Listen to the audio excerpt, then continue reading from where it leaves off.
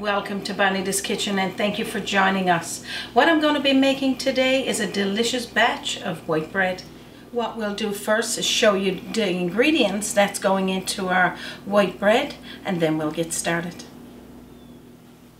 What we're going to be needing is eight and a half cups of white all-purpose flour.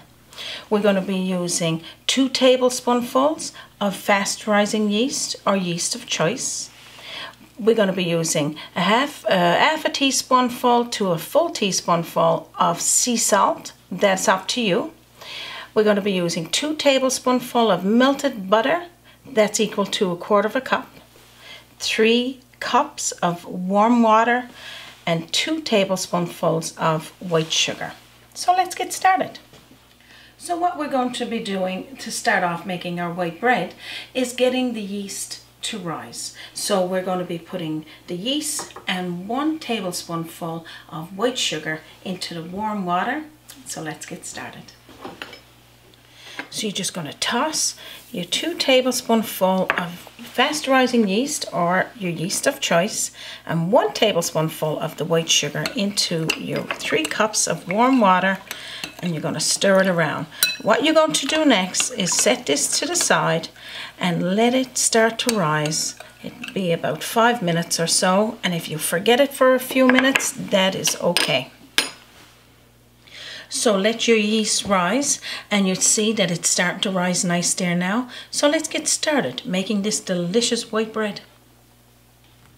So right now what we're going to do with the eight cups of flour that's in our large bowl and this large bowl got a lid and I got the half a cup of flour to the side for putting in there as we need it. We're going to pour in our yeast all into the bowl. To make sure I got all my yeast in there. And then we're going to pour in the warm, the warm melted butter. So make sure everything is nice and warm. We're going to be pouring in our, teaspoon, uh, tablespoonful of sugar. Just pour it around. And the same thing with salt. Just pour it around. And then what we're going to do is start stirring all of this in. Now with the salt, you could use half a teaspoonful or you can go to full teaspoonful. That's all optional to you. So just mix it around. So if you got a KitchenAid that got a hook, you could put this in there and use the hook that would bring all of this together. If you don't, use a nice wooden spoon that'll help you move it around. So what I'm going to do now is start working this through with my hand and then I'll show you what that looks like. At this stage of making your white bread or any bread, this is where you can add more water or more flour if you need it. But as you can see, as long as it's got this texture where it's a little sticky, you still got lots of flour, and then you're going to be working it around. And at this is the only time that you can do that because once you turn it into a ball, you can't add any more water to this batch. So let's mix it all together. I love working with dough and if you see me on previous videos, I'm in my happy place when I'm there. So pretty much when you're working your bread, kneading it down is what I would call it and that is what makes it perfect. So what I'm going to do now is continue bringing it all together and I'll show you what that looks like. So just pushing downward with your fist and like I said, if you're using a kitchen hook on those KitchenAids, it'll make it easier for you. But working with dough is relaxing. So just pushing it down on your dough. You see this texture of your dough? That's perfect. So you just push it inward like this, taking on any flour around the bowl until it all comes together. So adding the extra bit of flour there, the half a cup, because this is eight and a half cups, that's for sprinkling into your dough if it's sticky and you need it to add some more. But right now, this is perfect. So what I'm going to do Just do the final pull in on the dough and I'm having a really good workout. So if you're making yours or when you do start making it, working with dough is a little difficult, but it's fun and end result is delicious. So after you've done all of that, flip your dough and I always make the sign of cross on all my dough. That's optional. And then after, open up the dough like this. And this inside there, you'll see when it starts to rise, because we need to let it rise about this size again, up to air. And you'll see all the air holes in there, and that's showing you the texture of your dough. So that's all we need to do with that. So after you've finished with that, just sprinkle a little bit of flour around. So when it starts to rise, it, uh, it might be a little sticky on the sides and this will help you knead it down again and blend it all together. So what we're going to do, we're going to take our dough, put a lid on top. If you don't have a lid, you can put parchment paper over the top of it. And then what I'm going to do, I'm going to reach for my towel and I'm going to wrap it and I'll show you what that looks like. So what you would need is a nice big bath towel or a beach towel or even a blanket, a small blanket and wrap your dough. You want to keep it nice and warm and if you can put it into a sunny spot in your kitchen by the window or even just over the, the hood turn on the light and let it shine down on it. Leave it like that for about 30 minutes. Meet me back here and I'll show you the next stage. Now we're at the next stage of our bread making for our white bread and uh, there's been 30 minutes now since we put it in under the towel so I'm going to show you what that looks like and we knead it down again. I'm going to unwrap the dough and this is what the next stage of your dough should look like. So as you can see, you can see all the pockets in there and the texture of the dough. So pretty much what we're going to do now is fold it in and push it down. It's got nice cracking sounds. That's a good sign. And just fold it down using your flour to go out around just to help with bringing it all together. After you've done that, flip it over I'm going to put another opening in it, another little sprinkle of flour, and we're going to cover it again. Okay, so you're going to just cover it with the lid again or your parchment paper. We're going to get the same towel and put in under the bottom and up over. You're going to keep it now in a warm place again for 30 minutes or if you forget about it, that's fine. While you're waiting, and keep it in the warm. While you're waiting, prepare your pans. You'll need three bread pans for this. And then, uh, and then after when I come back, I'll show you what the last stage of our dough looks like. So meet me back here then. Okay, welcome back to Bonita's Kitchen. This is the next stage again of rising of our dough. I'm going to show you what that looks like and then we'll start getting it into the pans. Okay, so this is what it looks like. Now, I always let my dough rise twice like this because I always say it makes it twice as good. So um, let's get our pans now prepared and then we'll get this put into it. And what I mean by getting our pans prepared, some, some butter or oil, um, and just make sure that your pans is well greased on the inside. I got a fort pan here and that one is for bread buns. I'll show you how to make those on this episode. And if you wanted to check out um, Bonita's Kitchen for Toutons and Frozies, that's up there as well. I won't show you that today, but if you don't want to make the buns, you'll be able to make the Frozies. So let's get going on making our bread, taking off the dough and forming into little balls.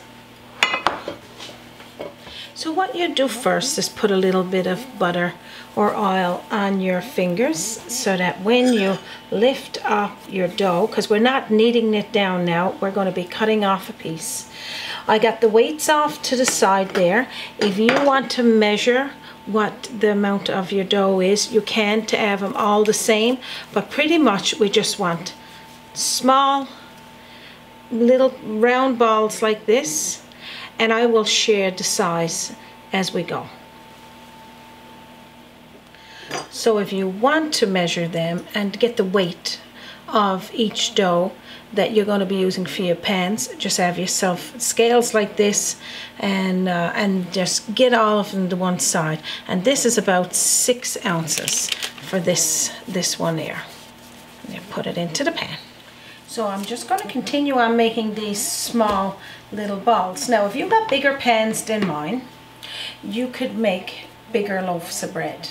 And again, you just take the piece of dough, fold it inwards like this, and if you don't want to do that, you can take one piece of dough and make one full loaf of bread.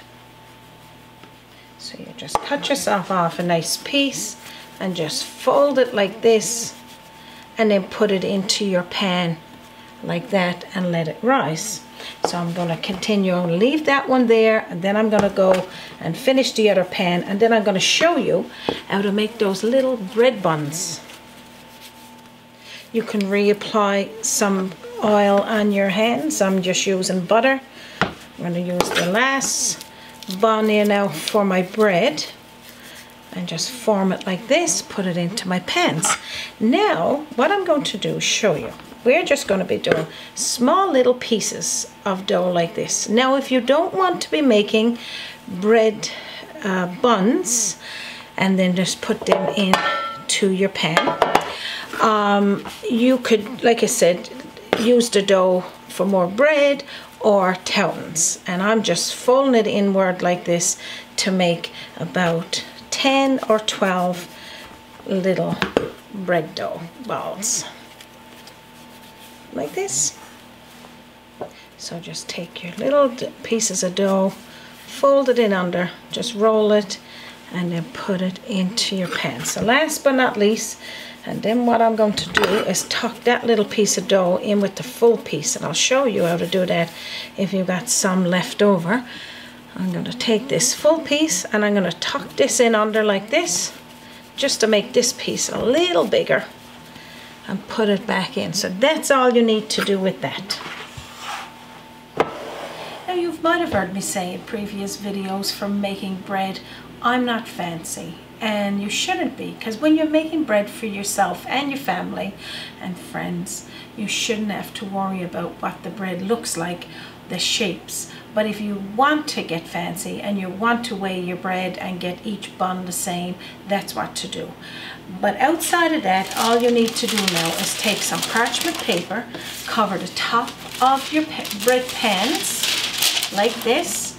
You're going to take the same towel you used for covering it when it was doing its rising stage and you're going to put over the top of the the pans and keep it there in that warm place until it rises for another 30 minutes and then meet me back here and we're going to put those beautiful dough bread balls in the oven and get them baking. Now we're at the final stage of making our delicious white bread. So all we need to do now is to remove the towel and the parchment paper and then we're going to get those loaves into the oven. Okay, so pretty much we're going to be putting the bread in the oven on a 350 degree heat for 30 to 35 minutes until it's a nice golden brown and it's going to rise up even more. So I'm going to put mine in here. Meet me back here when they're done. I'll show you what they look like. We're at the end stage of making our white homemade bread and right now it smells amazing in my kitchen. So I'm going to reach for it in the oven. I'm going to take it out and show you what it looks like. Goody it smells absolutely amazing. So I'm going to take them now and pour them out onto my counter and then we'll show you what all it looks like. Look how lovely they are. Now all I'm going to do now is to glaze a little bit of butter over them and we're going to cut into it. So just a little bit of butter just to soften up the outer crust and the same over our buns. And then I'm going to take the same parchment paper we used for letting it rise, put over it.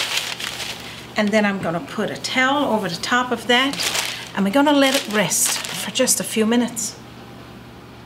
And the reasons behind letting it rest in under the towel for a few minutes, you've probably seen it in previous videos of mine, it just to help soften up the top layer of that crust. Now if you like the crust hard, leave it off and you don't even need to butter it. But I love it when it's got that nice texture. And as you can see here, these were made yesterday. I'm going to take one loaf now out of the bag. This is what you would do with your bread if you want it to stay fresh for long periods of time. When, it's come, when it comes to room temperature, put it into a plastic bag, seal it, and then this is what it looked like. And as you can see, just look how nice. Now I'm going to cut a piece here. I'm going to cut the outer piece, which we call it the eel. And you can see the bread inside, all of the pockets, the air pockets, and the texture of the bread. what I'm going to do now is reach for one of my loaves of fresh bread that we just baked, and I'll show you what that looks like. All of the steam is coming up to my nose. It's delicious. These, this bread is blazing out here now, so I'm going to cut a piece. It's really hard on the fingers. And I'm using a serrated knife. And you see the steam coming up there. And just look at the bread that just come out of the oven. How lovely it looks and how easy it is to cut even when it's fresh and I'm going to put on now a little tiny bit of butter and jam onto this one. Just look at how lovely this bread is. If you're expecting company and you want to put out some fresh bread with um, some cheese and jams, and right now I got a raspberry jelly and my plum jelly that um, we made just recently. So I'm going to put some molasses over this one because here in Newfoundland and Labrador we love molasses bread. And when you put molasses on bread, it's just so tasty. So that's that one. I'm to put a little bit of butter and some jam on this one and show you what it looked like. And then that's what that looks like. And that's what I call a feast there. Nice bit of fresh bread, freshly from the oven, and this one is a day old. So now I'm going to reveal our bread that we just took out of the oven. Just put this back here. And just look how nice and soft. All of it, the buns, the bread. Of course, this one in the middle is absolutely amazing. So this is it. This is as good as it gets. And I hope that this episode was helpful, helpful for you guys to make our delicious white bread. It was delicious. I'm going to have my piece of bread after, and I'm sure Raymond is going to have his as well.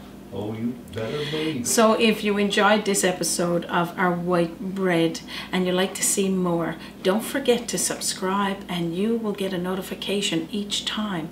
And if you want to visit us on our Facebook page or even on our website, www.bonitaskitchen.com.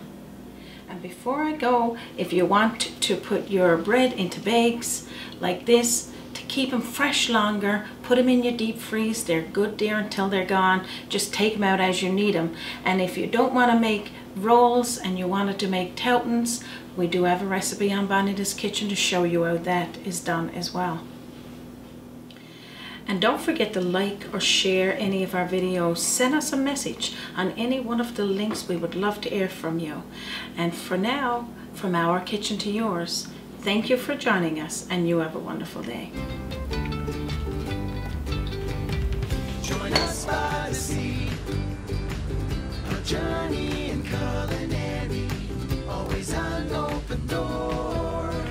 Bonita's Kitchen to yours. Bonita's Kitchen, Bonita's Kitchen, to yours.